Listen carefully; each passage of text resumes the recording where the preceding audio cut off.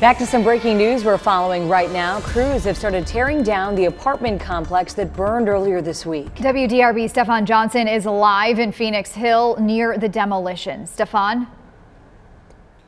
Right behind me, just a few days ago, we were here as fire crews responded to the scene to put this fire out to keep the flames from spreading to nearby buildings. And now, uh, just several days later, uh, crews are here now tearing it down. Um, according to the city, or Tuesday, the city determined that the building was not structurally sound. The roof had collapsed and floors had fallen uh, into rubble onto the floors. And, and from outside, you can see the facade of the building doesn't look that bad, but we had our drone up earlier. You'll see that video shortly. The WDRB drone took a look inside the building and you could see it was a mess. It is destroyed, nothing but charred debris here back down on the ground. The folks standing outside the fence, those are the people who live here.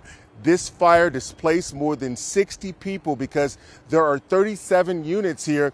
I talked to a young lady earlier here who said she was one of the, she's one of the 60 plus people who lost their homes and they came back because they were hoping to salvage some of the things that were still left inside.